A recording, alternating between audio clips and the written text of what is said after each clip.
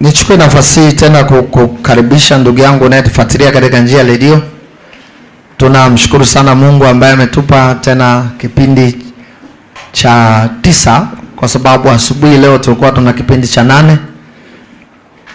Hiki ni kipindi chetu cha tisa katika siku nane ambazo Mungu ametupa kuwa na semina mahali hapa Bethania.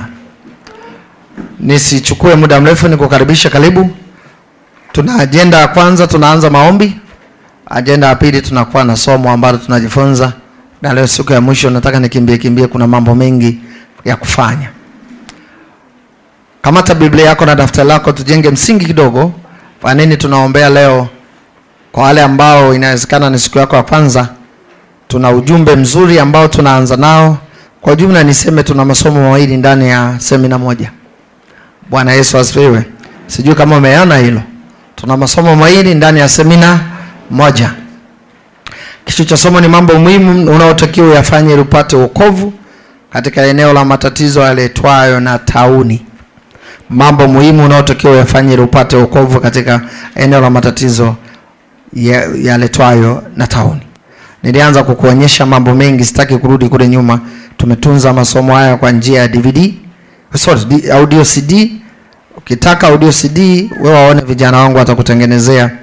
Ni vitu muhimu sana, unaweza nunua, si kwa faida yako tu, ukawapelekea hata ndugu zako wengine wajue namna ya kuombea katika janga hili lililopata ulimwengu. Na kabla sijaendelea mbele, nimtambulishe mtu ambaye nimeongozana naye pia leo kaja. Sisi huduma yetu na tupo wengi sana na ninafanya kazi na watu wengi katika huduma yangu hii ambayo Mungu amenipa. Mkurugenzi mkuu wa huduma hii ya kwangu ni mke wangu, na mkurugenzi mkuu mtendaji au msaidizi atakuja naye. Jana tulikuwa naye, atakuja. Tuna mkurugenzi wa huduma anayeshughulikia ratiba zote za huduma, na si ratiba zote za huduma, anayeshughulikia mambo yote maombi, mambo yote yanayohusu praise, mambo yote yanayohusu huduma za kwetu. Naye nimekuja naye leo, naomba usimame wapungie kanisa mkono. Karibu Wile Mwakasege.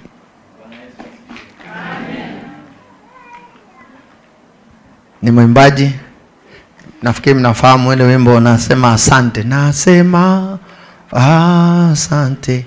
Basi Mungu ndiye alimpa kipawa hicho, akatengeneza huo wimbo yeye ule wimbo umekamata karibu Afrika nzima. Bwana Yesu asifiwe sana.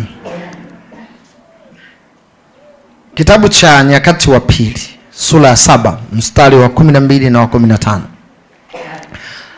tulianza kuona Biblia inazungumza nini tufanye pindi tunapotokewa na mambo kama haya ya matatizo ya korona, ambayo kila mtu anafahamu korona ni tauni tauni maana yake ni magonjwa ya kuambukiza, magonjwa yanayotokana asilimia kubwa na adhabu.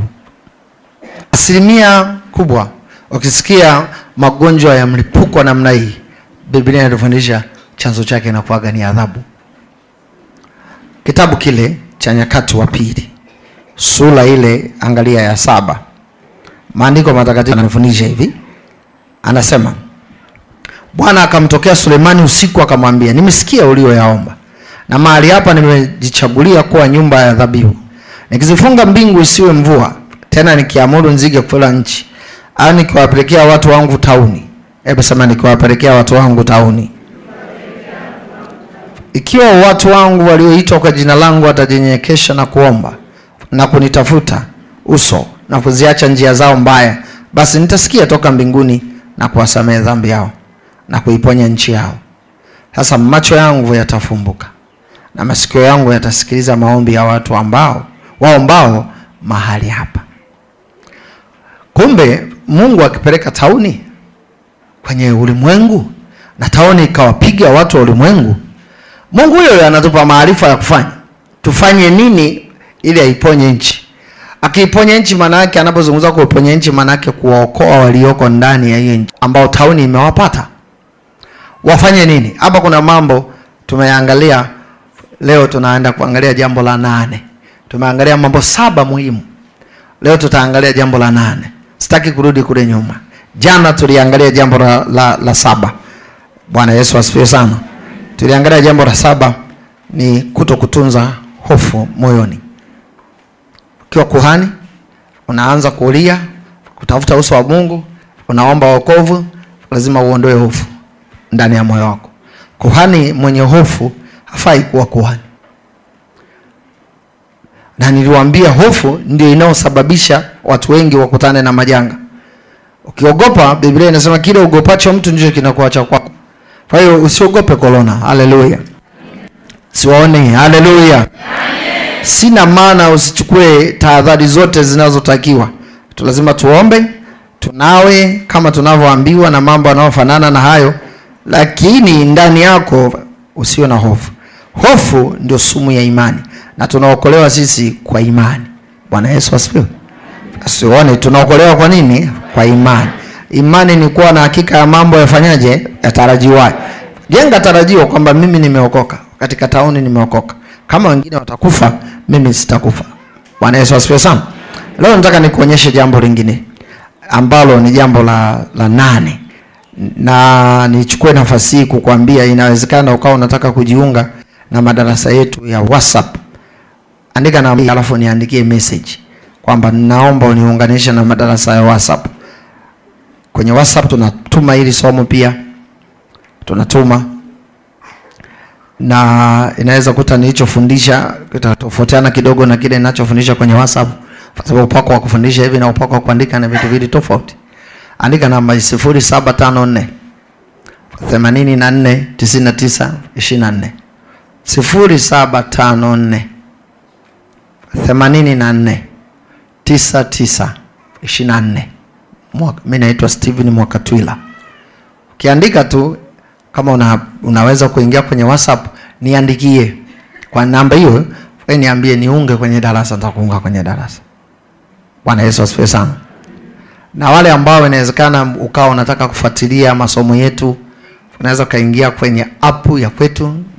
Nafahamu app kwenye simu ambazo zina unaweza pata simu ya Android kuna app app ni kwa mfano kile kile cha tunasema cha message kwenye simu yako, ukifungua si unakiona kile cha message, unakiona kile cha WhatsApp.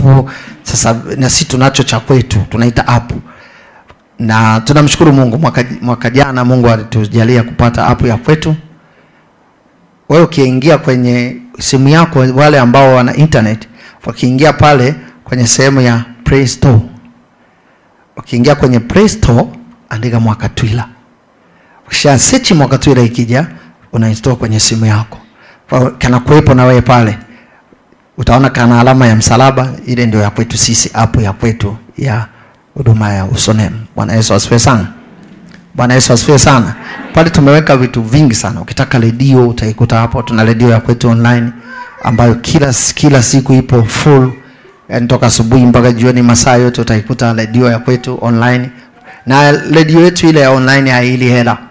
Ukiwa na MB chache sana tu unaweza ukaisikiliza. Ukiwa na GB moja utaisikiliza wiki mbili hujamaliza. Cha msingi tu mle ndani data yako hujaifunga, una internet nzuri, una kifurushi, fungua hiyo redio. Ukiandika radio dot Mwakatwila, andika radio dot Mwakatwila .org ni radio. Hata hivi tuko hapa, kuna watu wanaofuatilia kutoka sehemu mbalimbali kwa kupitia hiyo radio. Cha msingi tu unapata internet. Tuione turahisishe kukusaidia, hata ukiwa shambani ukitaka masomo ya kwetu utapata. Asubuhi tuna vipindi, saa saba mchana tuna vipindi, jioni kuanzia saa kumi na mbili tuna vipindi kama hivi, tuko live, utatukuta saa kumi na nusu tuna vipindi na saa tatu usiku tuna vipindi. Bwana Yesu asifiwe sana. Tumeenda sawa mpaka hapa? Niliona nizungumze kwa sababu sijui mwishoni tutamalizaje. Sasa angalia, Mungu anataka mimi na wewe tujue mbinu au maarifa ya kibiblia. Unapokutana na shida ya tauni ufanye nini? Jambo la nane, jifunze kukiri ushindi kwa kinywa chako. Andika, ili upate wokovu katika kipindi kama hiki, inatakiwa ufanye nini? Jifunze kukiri. Kukiri ni kusema ushindi kwa kinywa chako. Mnisikilize kwa makini. Ukienda kwa Mungu ukamwambia naomba uniokoe uniokoe na jambo fulani janga fulani teso fulani shida fulani ukayafanya yale yote tuliyojifunza mwanzo inawezekana umefanyika kuwa mtu uliyeitwa kwa jina la bwana. Si tumesoma ile mistari? Ikiwa watu wangu walioitwa kwa jina langu nafikiri ile mistari tumeshaisoma. Unataka mungu sasa akuokoe wewe uliyeitwa kwa jina lake. Umeshatafuta uso wake. Umeingia kwenye toba. Umemwambia ondoa adhabu. Umemwambia kabisa baba mungu ondoa adhabu kingine ni ile kwamba umeamua kuacha uovu kwamba umeamua kuacha dhambi kwamba mungu mimi nipe muda. Kweli kabisa mimi kuanzia leo dhambi ninaacha. Kama nilikuwa nafanya jambo ninaacha. Ukiwa ukishafanya hayo ondoa hofu jambo la saba. La nane jifunze kukiri ushindi. Jifunze kukiri nini? Ushindi biblia inasema kwenye isaya sura ya kumi na sita mstari wa kumi na sura, sura ya hams- ya hamsini na saba. Isaya sura ya hamsini na saba mstari wa kumi na sita mpaka kumi na tisa. Anasema kwa kuwa sitashindana na watu siku zote wala sitakuwa na hasira siku zote. Kamata hiyo. Mungu akikasirika usifikiri siku zote anakasirika. Ana muda. Ana muda.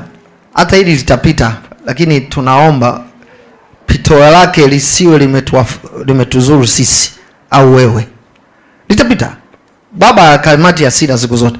Asira hasira ya mungu biblia inasema ikiwaka kupita kiasi. Ukiona mungu ame- amekasirika kupita kawaida maana yake ndio siku hiyo tunaitarajia inakuja ambayo biblia inasema hasira yake itafulika siku hiyo ndio mungu atatuchoma moto wale ambao wamekataa kumwamini yesu watakwenda motoni dunia hii ataitikisa itoke kwenye muhimili wake biblia inasema. Kishindo chake unafikiri kitakuwaje? Kama mungu anatikisa dunia itoke kwenye muhimili wake na dunia inazunguka jua wanasayansi wanafahamu na maandiko yanatufundisha wazi mungu ndiye anaziongoza sayari kwenye ayubu. Kama anaziongoza sayari maanaake dunia haijatulia dunia kweli inazunguka. Ndio maana anasema anaiongoza na ndio maana dunia haijawahi chepuka kwenye ule mstari inazunguka kila siku mahali pale pale inaizunguka jua. Shetani usiku na mchana anataka kuua wanadamu. Nyinyi hamjui ulinzi wa mungu tu. Mungu anatulinda kuliko akili yako inavyowaza. Nimewafundisha juzi kwa sehemu ndogo tu juu ya kitu kinachoitwa malaika. Mungu ameweka malaika wako wengi na wana wajibu tofauti tofauti. Sio kama wanatembea tu mtaani. Wana wajibu tofauti tofauti. Moja ya wajibu ambao wako nao malaika kuna malaika analinda jua kwa sababu dunia inaizunguka jua. Shetani akijua muhimili wa dunia ukoje ambao ndio unasababisha isitoke kwenye ule muhimili wake inazunguka. Atagonga ule muhimili. Ukigonga ule muhimili tumeingia kwenye jua kwa taarifa yenu. Sijui mnanielewa? Inua kichwa. Umenielewa mpaka hapo? Sisi hatujui mungu anatulindaje yaani huko juu kuna madmi, kuna kuna hizi nyota mnazoziona ziko juu. Kuna nyota mi nawaambia ni kubwa sijui mara ngapi ya dunia. Yaani dunia ni kadogo kama mchanga. Huko juu kuna manyota yako huko juu makubwa kweli kweli. Yaani dunia ni ndogo. Hizo nyota mnaziona ziko juu zinawaka. Sasa biblia inatufundisha zile nyota mungu ndiye anayezilinda na azilindi yeye anatuma malaika walinde. Sasa siku akikasirika hasira yake ikapanda kiasi. Biblia inasema atakachokifanya cha kwanza ni kutikisa dunia itoke kwenye muhimili wake. Kasomeni kitabu cha isaya. Ikitikiswa itoke kwenye muhi- muhi- muhimili wake fahamu itakakoenda kuangukia ni juani. Na ndio maana mi naamini dunia itachomwa. Kwa sababu jua yani liko mbali kweli lakini kasheshe yake tunaoisikia hapa. Bwana yesu asifiwe. Sione bwana yesu asifiwe. Sione bwana yesu asifiwe. Hiyo ni sayansi ya biblia. Sasa maandiko yananipa akili hapa. Yanasema hivi. Yeye anadai hata chukia siku zote wala sitakuwa na hasira siku zote. Maana roho ingezimia mbele zangu na hizo nafsi nilizozifanya kwa sababu ya uovu wa kutamani kwake naliona hasira nikampiga huyu ni mungu anasema hivi. Nalificha uso wangu nikaona ghadhabu. Naye akaendelea kwa ukaidi kuifuata njia ya moyo wake mwenyewe. Nimeziona njia zake nami nitamponya. Nitamwongoza pia. Nitamrudishia faraja zake. Yeye na hao wanaomlilia. Mimi nayaumba matunda ya midomo.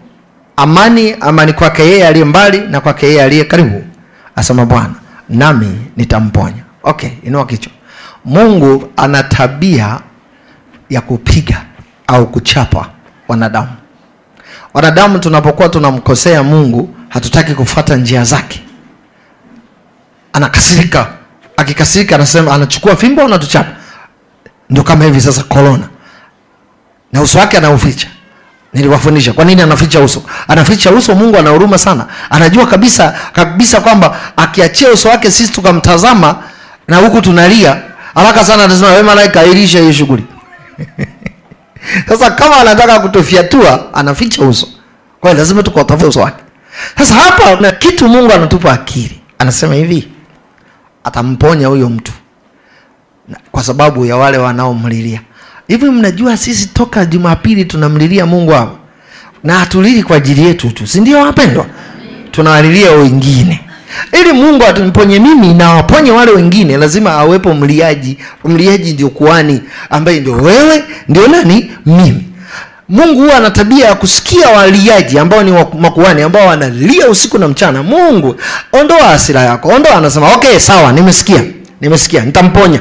Kwa lugha nzuri nitaiponya dunia. Kwa lugha nzuri nitaondoa hiyo hasira. Nimeona njia zake. Nitaondoa hiyo hasira. Sawa haina shida nitaondoa. Alafu anasema hivi mimi naomba matunda ya vinywa vyangu. Na, naomba, na, naomba matunda ya vinywa. Okay.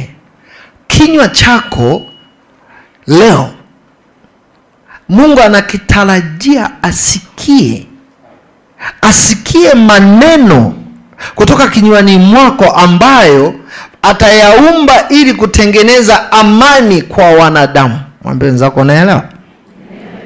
Ngoja nirudie tena. Mungu anaumba unayoyasema sema anaumba ninayoyasema. So nasema ninayo ninayoyasema. Umesikia kuna tauni? Alafu tumemwomba mungu.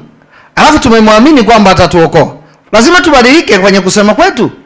Usisema kama wale watu wengine hata hey, mwaka huu tutakufa. Watakufa kweli?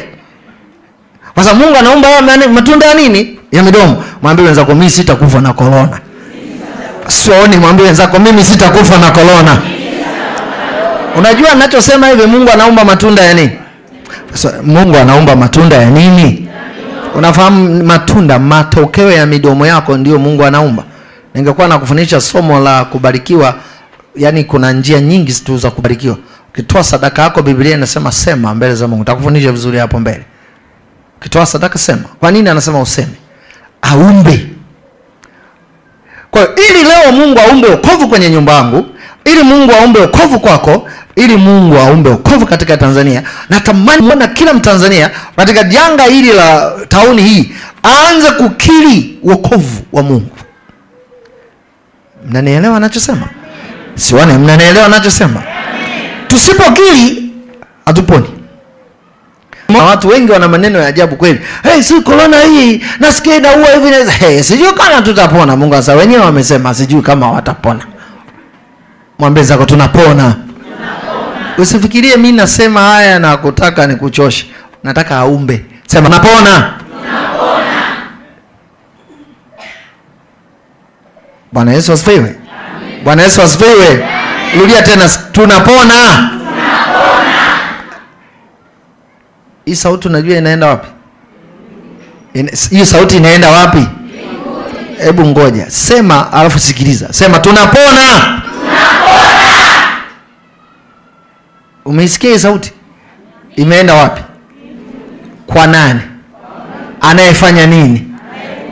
Anaumba matunda ya kinywa chako. Kwa hiyo kuanzia leo ukienda sehemu yote mwambie wewe zungumza tu kwamba mi sitakufa korona mimi nimepona mi nimeokoka ukisikia watu wanakimbia waambia amna hatutakufa tutaendelea kuishi tu ndio maana nimeanza kukufundisha jana usihofu uhofu inatenge, inatengeneza ukiri wako mtu mwenye uoga anakiri mambo ya uoga. Bwana Yesu asifiwe. Bwana Yesu asifiwe. Tusogee mbele, angalia kitabu cha Mithali sura 18 mstari wa 20 na 21. Mithali 18 20 21 anasema tumbo la mtu litajazwa matunda ya kinywa chake. Ah, kumbe tumbo langu linajazwa matunda ya kinywa changu, sio linajazwa chakula. Atashiba mazao ya midomo yake. Mauti na uzima huwa katika uwezo wa ulimi. Tauni imebeba mauti. Kama tauni imeachiliwa, imebeba mauti, ili hawa walioko chini wapate kuishinda hiyo roho ya mauti, lazima ulimi wao ubadilike kwenye kukiri kwao. Haleluya! Unasema kwa nini unasema hivyo? Sikiliza, anasema mauti na uzima huwa katika uwezo wa ulimi, na wao upendao watakula matunda yake. Kama mimi naupenda ulimi, manake sitaweza kuzungumza neno lolote kuanzia dakika hii la kuogopa na kuzungumza habari za misiba. Watapokuwa unasikia si fulani ameambukizwa, sasa hey, basi hapo huu ugonjwa tutaambukizwa wote. Utaambukizwa, mimi nakwambia. Mwambie wenzako siambukizwi mimi. Ulimi wako una nguvu ambayo Mungu ameiwekea ndani yake ya kukusababishia wewe mwenyewe uokoke na mauti. Haleluya! sione haleluya. Niseme nisiseme? Kwa nini mimi ninasema Yesu ni Bwana na Mwokozi wa maisha yangu? Kwa nini nasema? Ni kwa sababu hii. Walumi sura ya kumi mstari wa kumi na wa kumi na tano. Walumi sura ya kumi mstari wa kumi na wa kumi na tano anasema hivyo. Walumi sura ya kumi kumi kumi na tano anasema kwa maana kwa moyo mtu huamini hata kupata haki. Okay, tunakuwa na imani, uhakika kwa Mungu atatuokoa, na kwa kinywa ukiri hata kupata wokovu. Sema kwa kinywa ukiri hata kupata wokovu. Kwa maana andiko la nena, kila mwaminie hata tayarika, kwa maana hakuna tofauti ya Myahudi na Myunani, maana yeye yule ni Bwana wa wote, mwenye utajiri wa wote wamwitao. Kwa kuwa kila atakayeitia jina la Bwana ataokoka. Basi wamwiteje yeye wasiyemwamini? Tena wamwaminije yeye wasiyemsikiliza wasiyemsikia? Tena wamsikiaje pasipo mhubiri? Tena wahubirije wasipopelekwa? Kama ilivyoandikwa, ni mizuri kama nini miguu yao wahubirio habari ya mema. Pointi yangu ni hii mistari inasema, kwa maana kwa moyo mtu huamini hata kupata haki, na kwa kinywa ukiri hata kupata wokovu. Okay, nazungumzia habari, unataka wokovu katika kipindi hiki, unakiri nini? Unasema nini ili Mungu akuokoe na majanga haya ambayo yanakuja? Kwa maana kwa moyo mtu uamini ili kupata haki. Haki yangu ni kuokolewa. Ili niokolewe, lazima niamini kwamba Yesu ataniokoa. Bwana Yesu asifiwe! Bwana Yesu asifiwe! Imani inakaa ndani, lakini haitoshi uamini. Biblia inasema lazima ukiri. Wengi hapa wanataka kwenda mbinguni. Ngoja nibadilishe sasa hivi somo dakika chache. Watu wengi hapa mnataka kwenda mbinguni, wote hapa mnataka kwenda mbinguni, na atakaye kupeleka mbinguni ni mmoja tu, anaitwa Yesu Kristo aliyekufa akafufuka. Unajua kwa nini watu wengi watashindwa kwenda mbinguni? Ni kwa sababu Biblia inasema hivi, kwa maana kwa moyo mtu huamini hata kupata haki. Kama moyoni unaamini Yesu alikufa alikufa kwa ajili ya dhambi zako na ndio mwokozi wa ulimwengu, unaamini moyoni, haitoshi. Ili Mungu akuumbie huo wokovu katika siku ile inayokuja ya hasira ya Mungu ya mwisho, anasema lazima ujifunze kuanza kukiri. Ndio maana mimi nikisimama hapa nasema mimi naitwa Steven Gwasa Mwakatwila, nimeokoka, nampenda Yesu. Sisemi hivi ili wewe ufurahi, nasema hivi ili Mungu atengeneze wokovu wangu siku hiyo. Mwambie wenzako hivi, unaelewa wewe?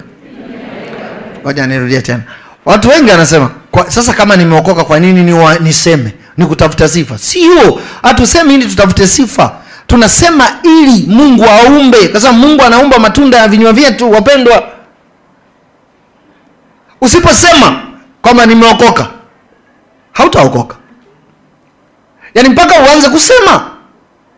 Najua wainjilisti wengi wanahubiri injili injili ya wokovu, wanaambia watu mwamini Yesu kama Bwana na Mwokozi, mwamini Yesu kama Bwana na Mwokozi, lakini wainjilisti wachache wanawaingiza watu ndani kabisa, kuwaambia ukishamwamini Yesu kama Bwana na Mwokozi, kuna hatua unatakiwa ifanye siku zote za maisha yako, kukiri ili Mungu aumbe kile ambacho una, unasema.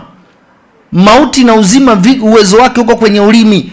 Sasa sio mauti tu ya tauni, kuna mauti ya pili inakuja huko mbele. Kama unafikiri nakutania moto upo ni miaka kama mitatu imepita mungu alinionyesha moto. Kwa mara ya kwanza mungu alinionyesha jehanamu nimeona mbinguni ambako yesu anaandaa. Mi nimepata neema nimeona. Nimepata neema hiyo. Nimeona. Niliwasimulia siku ile yesu alikuja akaniambia usipotubu huta usipotubu kabla yule hajaja. Mnakumbuka niliwaambia juzi hapo? Akati nawaambia habari za malaika si ndio? Siwaoni si ndio kwani nilienda kuokoka? Sikuokoka mimi. Ilikuwa ni mwezi wa mwaka m- mwaka 95 mwanzoni. Sikuokoka. Kwa nini sikuokoka? Nilikuwa na sababu zangu za kipumbavu. Nawaza kwamba sasa huyu anataka mimi nianze kutubu saizi mbona misheni zangu hazijakaa vizuri? Biashara zangu zote zilikuwa haramu. Nilikuwa najua kabisa kwamba nikiokoka saizi hizi biashara sifanyi tena. Kwa hiyo maisha yangu yatakuwaje? Nikakaa mwezi wa kumi tisini na tano. Wakati ule wa uchaguzi tumemaliza uchaguzi mungu alinitokea tena mara ya pili. Safari hii alishika unywele wa kwangu akaniinua juu. Yaani nikaenda juu. Nilivyoenda juu alinionyesha kwa dakika chache hii dunia yote hii niliiona yote mwaka 95 na dunia imechakaa sio kama vile ambavyo si tunafikiri. Mungu alivyoomba dunia na dunia tulionayo sasa hivi imechakaa sana kama vile biblia inasema mbingu zitachakaa na nchi inachakaa. Ni kweli. Niliona. Akaniinua akanipeleka mahali fulani. Lile eneo ndo akaniambia hivi Steven, usipotubu hutaingia hapo. Geuka. Nilivyogeuka hivi niliona nchi ambayo bwana anaiandaa na ndipo tutakapoenda kuingia. Kidogo mimi nishakuwa mwenyeji kule niliona bwana yesu asifiwe. Siwane bwana yesu asifiwe. Lile eneo niwaambie lilivyo. Sawa wapendwa? Naona wote macho yako hivyo. Niangalieni miusoni lile eneo ni zuri. Zuri. Hakuna mji mzuri duniani. Duniani ni takataka. Yaani tunajitahidi kujenga nyumba lakini zote ni takataka. Ndio maana mungu atazichoma moto. Kwa sababu ni sawa na dampo. Huwa linapelekewaga moto. Naona mmenielewa eh? Niliona lile eneo lilivyo niliona mwanga wake. Mwanga ambao unaumulika lile eneo niliona ni rainbow mnafahamu rainbow rainbow mnaita kiswahili tunasema upinde wa mvua. Zile rangi saba zile mi ndio niliziona zinawaka. Sio jua Mm-mm. kule sikuona jua mi niliona rainbow ndio inaotengeneza mwanga kule. Sasa mwanga wa rainbow ni mzuri sijui ni kuelezeje nikaangalia sikutaka kurudi huku. Nilitaka nikae kule kule. Akaniambia usipotubu stephen hutaingia hapa. Ayageuka, nikageuka akanirudisha vile vile kwa staili. Alinishika nywele kichwani mmoja akanirudisha. Niko duniani natetemeka.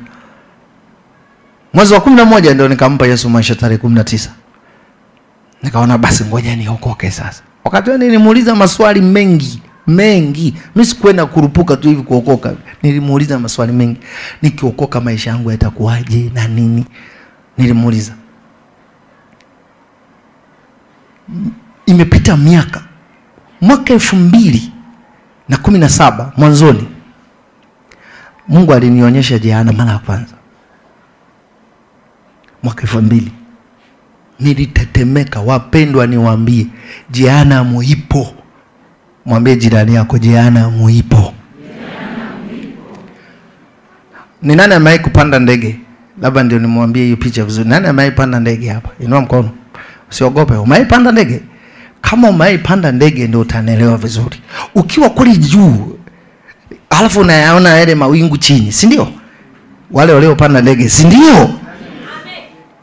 Sasa umeiona ile picha unayoiona kule juu mawingu yako chini ni kama ziwa hivi si ndio? Au bahari hivi si ndio? Sasa ndio iko picha kama ile ila sasa yenyewe ilivyo yale mau, lile wingu lake ule moshi ni mweusi. Yaani ni mweusi. Kama umeiona bahari ndio biblia inavyosema ziwa la moto. Ndio hivyo hivyo. Yaani ndio vile vile nilivyoona. Sasa lenyewe lile limoshi lake lilivyo ni jeusi sio jeupe na bluu ni nyeusi nyeusi ti imechangamana na nyekundu iliyoiva sana. Nilitetemeka kwa sababu lile yale lile kama wingu lile linaenda juu hivi yani kama vile mawimbi ya bahari yanavyoenda hivi si ndio? Hivyo hivyo kwa hiyo likinyanyuka kwenda juu hivi linavingirika hivi. Alafu ndio unauona kumbe ile sio wingu ni moto mo, moto sijui nikuelezeje ule nilitetemeka. Sikuwa naingizwa ndani nila niliona. Nilipiga kelele. Nikaona mkono wangu wa kulia kuna nuru kubwa sana. Kubwa kweli nuru. Na kuna njia inaenda kule. Nikasikia sauti inayotoka kule. Ikanaambia steven nenda kawaambie watu wasiende jehanamu na mi leo ninanawa na kuambia usiende jana. mwambie wenzako usiende jana, na ili usiende jehanamu kazi ndogo tu. La kwanza mwamini yesu kama ndio mwokozi wako. Mwambie wenzako hiyo ni kazi kweli? Mwambie wenzako hiyo ni kazi kweli? Kazi ya pili ni kusema. Hiyo ni kazi kweli? Kwa maana kwa moyo mtu unafanyaje? Huamini. Ili kupata nini? Ha, haki sema kupata haki. Kwa, ki, kwa kinywa anakiri. Ili kupata nini? Sema wokovu. Kwa hiyo unataka mungu akuumbie wokovu? Katika siku hiyo ya mwisho. Jambo dogo tu. Anza kukiri leo. Ukikutana na washikaji unawaambia, hata kama kijiweni yo yo mimi nimeokoka bwana. Yesu ni bwana kuna mtu anaokoka duniani? Kwani wokovu anaanzia wapi? Huku ng'ambo hii sikilizeni ukifa ngoja nikupe picha ya kule ilivyo labda utapata akili. Kule hawaulizi maswali wala huwezi ulizwa swali. Nikwambie. Ukipata nafasi kule ya kuuliza swali kuna hoja maalum. Sisi tukiwa ng'ambo hii tunadanganyana sana. Mungu msikiege kwenye ulimwengu wa roho sikia. Sikiaga tu. Huwezi huwezi zungumza. Huwezi sema. Huwezi kwanza huwezi simama hata mbele yake hivyo ukamwoji maswali. Huwezi. Mungu ni mtukufu sijui niwaambieje. Ng'ambo hii tulioko ndio toba inafanyika huko mwambie nzako toba inafanyika huko ili upate uzima wa milele kule lazima uanze huku. Ukienda kule wataangalia huku ulikiri uli, uli, uli nini uliamini nini ndicho wanachoangalia. Kama huku ni waambie hukumwamini yesu kama bwana na mwokozi wa maisha yako na ukukiri usitegemee usitegemee usitegemee. Yesu anasema atakaye nikiri wapi? Mbele za nani? Basi wote anayenikiri mbele za nani? Na yeye anamkiri wapi? Umeona kamchezo kalivyo mi ninavyosimama hapa na mkili nasema yesu ni bwana na mwokozi wa maisha yangu. Ndivyo na yeye anavyo- anavyosema kule kama kuhani kwamba huyu huyu ni mwokovu. Nimemwokoa huyu nimemwokoa huyu nimemwokoa. Na ndio maana anasema dumuni hivyo hivyo mpaka mwisho wenu. Yaani ili ni tendo endelevu walokole wenzangu mlioko humu usiogope kumwambia mtu umeokoka haleluya. Sione haleluya. Ni kwa faida yako. Endelea kukiri mpaka siku yako ya kufa kama atakukuta umekufa. Ukisema naogopa na yeye kule hakili. Kule kweli kuna kitabu cha majina ya watu wanaoingizwa kwenye kitabu cha uzima. Kipo. Yani sio kusema ni staili ni kweli mimi ninapokuongoza sala ya toba mi siongozi sala ya toba kimapokeo. Nakuongoza sala ya toba najua nachofanya nikikwambia inua mkono ukiinua mkono nasema sema e bwana yesu. Unayoyasema ndio anayoyaumba na mimi ndivyo namwambia. Kama unanisikiaga hapa mi nikiwa naomba nikikwambia hivi sema e bwana yesu naomba nisamee narudi namwambia mungu umba matunda ya vinywa vyao. Sikosei kwa sababu biblia ndio inavyosema. Tumeenda sawa wapendwa eh? unakiri nini sasa? Ukitaka uzima wa milele kiri hivyo ukitaka uzima wa kuishi duniani kilivyo. bwana yesu asifiwe. Sione bwana yesu asifiwe. Unataka uokovu mungu apishe uzima kwenye nyumba yako. Unakiri nini? Wamama wengi ngoja niwaambie unaweza badilisha hata mfumo wa mwenendo na tabia za watoto wako kwa kutumia kinywa chako unavyokiri asubuhi mchana na jioni. Bahati mbaya watu wengi hatujui maneno yetu yana nguvu gani katika ulimwengu wa roho sisi tunajisemea tu. Anza kusema. Ngoja nikupe mfano wa mwisho kabisa. Nilipookoka tisini na tano nikajikuta mimi na maisha ya kimaskini kweli. Lakini mungu alikuja kunifundisha hii elimu. Siku moja akaniambia usikiri hata siku moja wewe maskini. Usikiri wewe ni hamnazo usiseme wewe huna akili. Usikiri udhaifu mi ndo naumba hivyo. Ah, ah, basi nikabadilika. Mimi nilikuwa sijui fellowship. Wanasema sijui kuna fellowship we kuna nuru sijui nini kusema ushuhuda mi nitasimama. Nitaanza kusema. Kwanza na waza Stephen anajivuna. Mi sijivuni. Nazungumza kile kitu ndo, ndio kukili kwangu ili mungu aumbe. Nikikaa na rafiki zangu mi nawambia mimi sio maskini.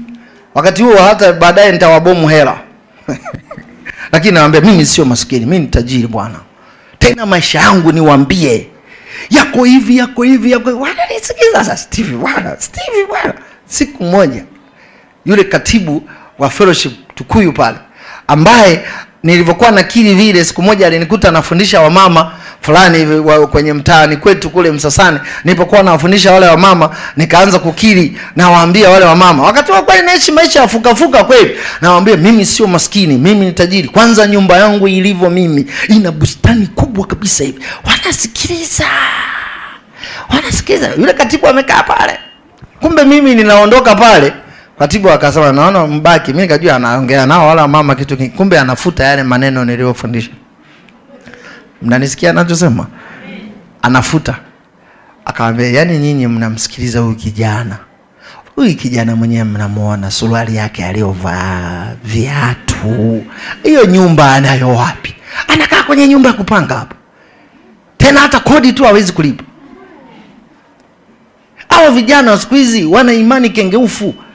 Wana wana wana kiroho wana roho nyingine. Msimsikize ikapita miaka mi sikusikiliza sikujua wamezungumza nini. Ilipita miaka mingi nimeoa nimepata watoto. Siku moja alikuwa amekuja mwalimu christopher mbea sokoine pale miaka ile anakuja sokoine mimi nimetoka pale uwanjani nafika mafiati na miaka ile gari sio nyingi sana.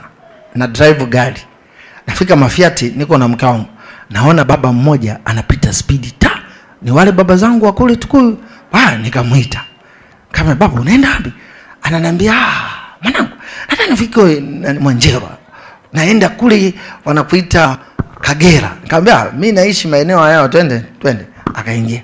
Ah tujaenda mbele kidogo. Namwona yule katibu alikuwepo naye kwenye semina sasa wanarudi. Si unajua tukitokaga kule tunakuwa kama kondoo waliokosa mchungaji sasa wanarudi nyumbani. Bwana yesu asifiwe. Kweli mi naambia watu wanatafuta malisho kweli. Basi namwona yule katibu. Nikamchukua. Sijaenda mbali sana. Namwona mama ambaye ndi alikuwa kiongozi kwenye ule mtaa ambao mimi nilikuwa nafanyisha semina siku hiyo. Naye nikamchukua. Wale nikachukua wangapi? Watatu. Na mke wangu wanne huu nikamwambia sasa mnaenda wapi? Kumbe yule katibu anaenda nyumbani kwa baba yangu kuomba malalo. Yaani kwamba alale mpaka semina iishe siku nane ata, ata, afikie kwa baba. Na yule mama ambaye naye nimemchukua. Wote wanaenda kwa baba yangu. Wakati huo baba alikuwa anaishi kabwe crossway pale. Nikasema sawa twendeni. Nikasema sasa kabla sijawapeleka nyumbani kwa baba tufikeni nyumbani wazazi wangu. Ha, sawa sawa. Nikamwambia kwa sababu hata hii gari yangu mimi naipaki kwa baba na kutoka hapo kwangu mpaka kwa baba kipindi kile ilikuwa sio mbali. Haya haya. Tunafika nyumbani kwangu. Kweli bustani ilikuwa inatoka hapa mpaka kule mwambie wenzako naelewa hiyo? Mi sijui hili na hili. Nafurahia wazazi wangu hawa wa kiroho. Na kweli ndio baba zangu kweli? Na mama zangu kweli? Walinilea sana. Yani sio kidogo sana. Mpaka kufika hapa mimi wale wameshiriki kunifanya mi niwepo hapa. Tunafika nyumbani na niliwaambiaga, nikamwambia mi ukija nyumbani kwangu bustani mpaka kule nilikuwa najisemea tu hizo nyumba nilikuwa nikiingiaga zamani naona huko nyumba za washefa ni- nilikuwa natembea tembea. Kwa na mimi nilikuwa na ndani ya akili yangu kwamba nitajenga nyumba kama hii. Nilikuwa mjanja tokea zamani mimi yani nishatembea sana. Shaona nyumba za watu yani nyumba nyumba. Kaambia sebule yangu iko chini underground. Ndio akaza ana sebule gani huyu? Nakufundisha kukiri sema kukiri. Anafika pale ile kufungua mlango kwanza anasema ha ha ha Mwakitila ndio hapa nyumbani kwako naambia ndio baba namshukuru Mungu na maombi yenu. Ha! Anafika pale kweli sebule. Nashuka ngazi moja mbili tatu nne ndio unaikuta sebule kule chini. Ha! Karibu akasema ngoja kwanza kabla hatujaendelea na mazungumzo mi nataka niombe msamaha kwa bwana. Nikasema unaomba msamaha umekosa nini? Akaanza kusema akaniambia steve wewe kweli una imani kali? Una imani kali? Nikasema kwa nini baba akasema unajua siku moja ulikuwa unafundisha kule msasani. Ulifundisha hivi na hivi nyumba yenyewe ndio unaiona picha hii. Yule mama aliyekuwa naye akasema mimi si ndio nilikuwa kiongozi na ndio niliyemleta pale alafu wewe ukaja ukatuambia kwamba muongo tusimwamini. Bwana yesu asifiwe. Niulize swali ile nyumba uliiona wapi? Kwa imani. Hebu sema kwa imani imani ni kuwa na hakika ya mambo yatarajiwayo. Ni bayana ya mambo yasiyoonekana. Okay. Tunayatoaje mambo yasiyoonekana kutoka kule ambako hayaonekani kuja huku kunakoonekana? Biblia inatupa akili. Kwa maana kwa moyo mtu uamini akapata haki. Kwa kinywa anakiri anapata nini? Wokovu. Okay. Kumbe mimi kukiri siogopi mi nikisema unaweza sasa anajivuna. Ah, shauri yako. Weka na ujinga jinga wako ila mimi hapa ndio tunatembea na yesu hivyo. Yani ndio namwambia umba e bwana. Mi leo nazungumza mbele za anayenikiri mbele za watu na mi namkiri mbele. Ndio maana nakwambia yesu ni bwana na mwokozi wa maisha yangu. Alafu mimi sio zoba nina akili. Maanake hata kama hazina zinaumbwa. Mwambie wenzako unaelewa sasa? Ndio maana biblia inasema hivi dadi alikuwa anasema si nitakufa bali nitafanyaje ili iweje? Mungu anaumba nini? Matunda ya kinywa cha nani? Sema cha daudi. Unajua daudi alikuwa ametingwa. Anajua kifo hiki hapa. Alishakoswa mikuki na mtu anaitwa mfalme. Hivyo unaweza ukawa na ugomvi na rahisi alafu ukasurvive nyamjaelewa a- daudi ugomvi wake ulikuwa si wa mtu mdogo ana ugomvi na mfalme. Mfalme amemkosa daudi mkuki mara ngapi? Zaidi ya mara mbili kamkosa. Wasomao biblia mnafahamu. Lakini daudi unajua mungu unajua ana- anasema anasema si nitakufa bali nitafanyaje? Nitaishi ili nisimulie matendo makuu ya nani? Ya bwana. Kwa hiyo hata leo natamani anza kukii kwamba mi sitakufa na korona kwa sababu mbele huko kuna shuhuda nyingi za kumshuhudia bwana. Haleluya! Na uanze kujipanga sasa. Atakayo kutendea kawashuhudie watu.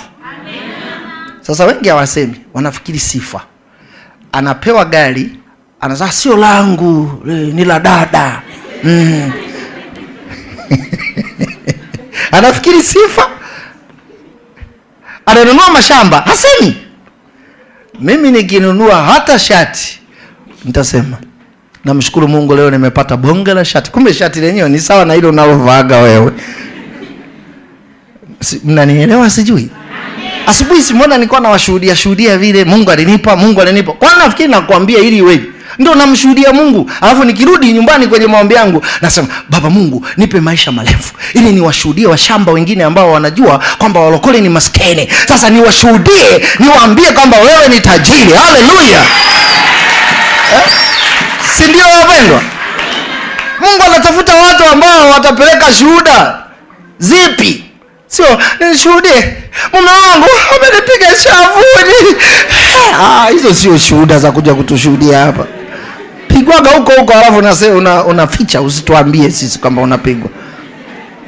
Sasa na wanaume waanze na wenyewe kusimama nikwambie mama mama kule nyumbani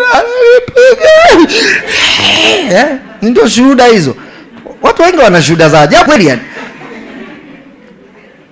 Lazima tumshuhudie mungu. Mtoto wangu alikuwa ajue hesabu. Sasa sasa hivi anajua hesabu. Unajua kila siku anapata tano sikiwa amepata nane kawashuhudie watu. Mwambie mwenzako unaelewa wewe. Unasema kwamba mtoto wangu alikuwa anapata hesabu chini. Sasa hivi namshukuru mungu anapata hesabu za juu. Haleluya! Amepata nane. Maanake kaongeza ngapi? Tatu. Mungu anajua huyu mtoto ana akili huyu. Kwenye hizi tatu kanishuhudia basi sahizi apate ishirini. Alafu mungu anasikiliza anashuhudia anashuhudii akishangaa unamshuhudia ana, kesho anapata themanini. Mtoto ugo mnasikia ana digrii watu wanasema alikuwa bwege darasani yule. Naona mmenielewa sasa. Shuhudia kushuhudia ni kukiri. Unashuhudia nini? Nashuhudia uokovu wa bwana. Hatutakufa watanzania hata wakipata maambukizi watapona. Si ndio wapendwa si ndio wapendwa? Twende mbele za bwana tukaombe. Simama kwa miguu yako. Simama kwa miguu yako. Naona mmenielewa si ndio? Muulize mwenzako unaugua maradhi gani? Una kisukari wewe? Wamesema una kansa. Wamesema una pumu. Waambie mimi sitakufa bali nitaishi. Wamesema tauni iko wapi? Kama wakisema iko mjini wewe sema sitakufa bali nitafanyaje? Nitaishi. Kama mungu ameokoa kuna watu wako italia pale pale. Hawajaambukizwa. Kwa nini sisi tuogope sasa?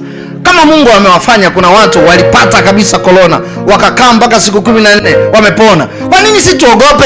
Alafu si tuna mungu. Haleluya! Inua mikono yako juu.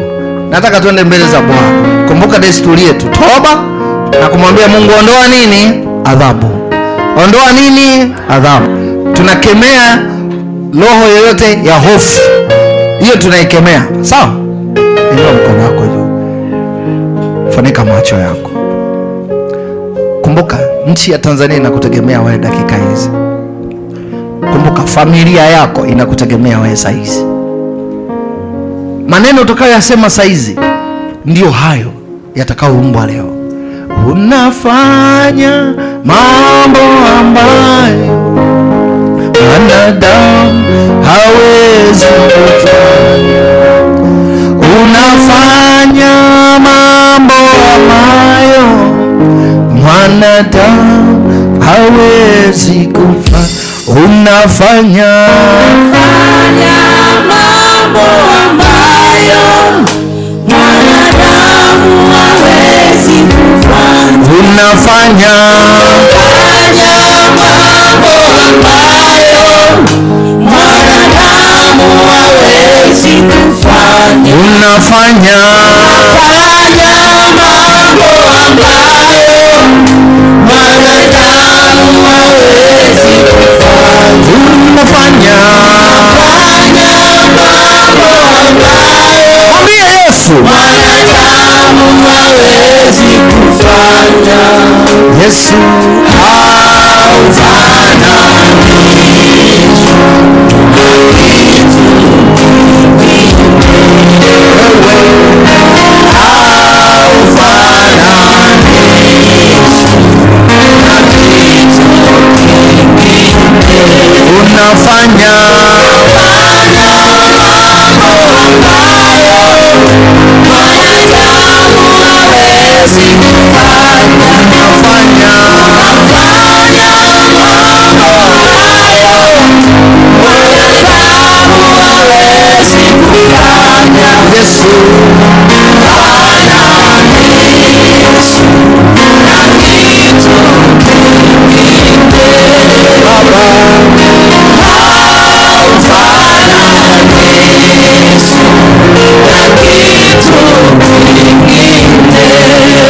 sema ee bwana yesu Nimeinua mkono wangu kwako. Nimeinua mkono wangu kwako. Kwa sababu kwa sababu peke yako peke yako kuna wokovu. kuna wokovu, kwa sababu kwa sababu peke yako peke yako kwako kwako kuna wokovu. kuna wokovu, wokovu mkuu mno. Wokovu mkuu. Eh bwana yesu. Eh Bwana Yesu, leo leo ninanyenyekea kwako. Ninanyenyekea kwako. na kwamba yesu. Na kuomba Yesu. Unisikie mbinguni. Unisikie mbinguni. nimekuja mbele zako. Nimekuja mbele za kama kuhani kama kwa ajili yangu mwenyewe kwa ajili yangu kama kuhani kama kuhani kwa ajili ya taifa langu kwa ajili ya taifa kama kuhani kama kuhani kwa ajili ya jamaa zangu kwa ajili ya jamaa kama kuhani kama kuhani kwa ajili ya kabila langu kwa ajili ya kabila kama kuhani kama kuhani kwa ajili ya lugha yangu kwa ajili ya lugha Ee yetu Bwana Yesu. Ee Bwana Yesu. Naomba uturehemu ondoa hasira yako. Isikae Bwana. Isikae Bwana. Juu yetu e Bwana. Ee ondoa hasira yako. Ondoa hasira yako. Airisha hasira yako. Gaili e Bwana. Ondoa uovu uliokusudia Bwana. Kutupata. Kutupata. Wa Tanzania. Wa Tanzania. Uliokusudia uliokusudia kunipata. Mimi na nyumba yangu. Mimi na nyumba yangu. Naomba Yesu. Yesu. Ondoa uovu huo. Ondoa uovu huo. Ondoa uovu huo. Uovu e Bwana. Ondoa korona na magonjwa yoyote. Ya tauni. Kwenye nyumba yangu kwangu mwenyewe. Kwangu kwa mwenyewe taifa langu. Taifa langu. Tusamehe Bwana. Dhambi zetu ni hatuna la kujitetea. Hatuna la kujitetea. Njia zetu e Bwana. Njia zetu e wala hazifai. Wala hazifai. Usiangalie Yesu. Usiangalie Yesu. Angalia damu yako. Damu yako. E Bwana. Bwana. Iachilie hiyo damu. Iachilie hiyo kutoka kwenye madhabahu yako. Kwenye utakatifu madhabahu takatifu ile ya mbinguni ile ya mbinguni achilia damu ya Pasaka ikatulinde katulinde na kutuokoa.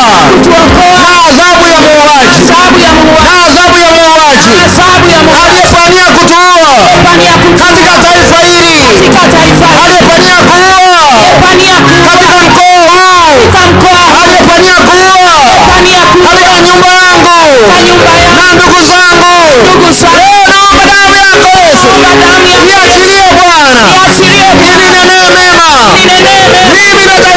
mimi na taifa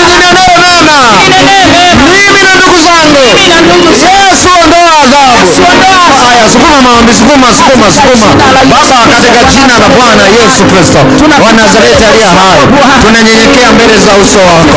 Tunakuomba wewe mkuu wa wakuu tunakuomba Mungu wa miungu. Tunakuomba baba yetu aliye hai. tunaomba rehema zako. Tunaomba neema yako.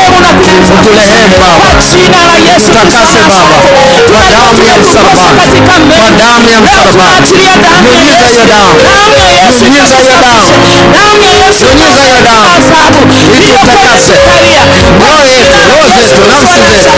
Nyunyiza damu, nyunyiza damu, nyunyiza damu. Kwa jina la Yesu Kristo. Nyunyiza damu, nyunyiza damu. Kwa jina la Yesu Kristo. Damu yako Bwana. Itutakase wa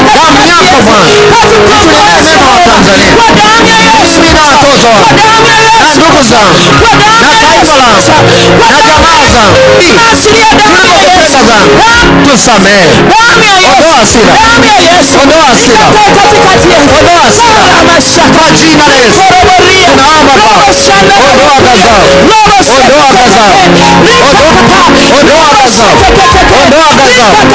Ondoa gazão! Ondoa gazão! Yes, you are not. Yes, you are not. You are not ghadhabu, ondoa hasira ondoa mauti iliyokuwa imetumilia kwa kupitia korona kwenye bara la Afrika. Yesu naomba, ondoa korona, ondoa korona, ondoa kwa jina la Yesu aliye hai. Mungu asante. tunakusihi Jehova utashuka na kutupigania tukomboe Bwana na janga lilofika kwa jina la Yesu Kristo pita katikati yetu Okoa taifa letu. tukomboe Jehova jina la Yesu.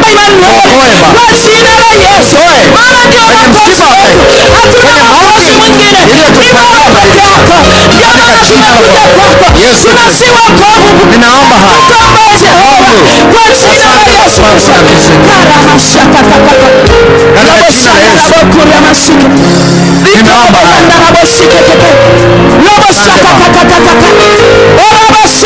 Asante Baba, tunakulia wewe.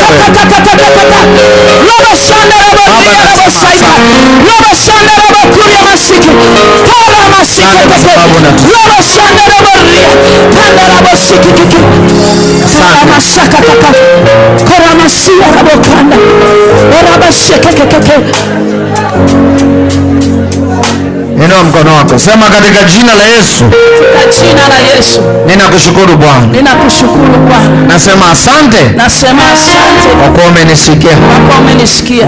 Ninakiri leo. Ninakiri leo. Sitakufa. Sintakufa bali nitaishi, bali nitaishi, sitakufa. Sitakufa. Bali nitaishi. bali nitaishi. Ninakiri leo. Ninakiri leo. Taifa hili. Taifa hatutakufa. Hatutakufa. Bali tutaishi, bali kwa sababu wewe Bwana Kwa sababu wewe ndiye mwokozi wetu, mwokozi, sababu wewe Bwana. Kwa sababu wewe ndiye mwokozi wetu, kwa sababu wewe Bwana. Wewe ndiye wokovu wetu. Katika jina la Yesu. Nimeomba haya. Na kuomba Bwana Yesu, umba matunda ya midomo yangu, umba matunda ya midomo yangu. Katika jina la Yesu nimeomba na kushukuru, na wote tuseme amen. Makofi mengi mengi kwa Bwana.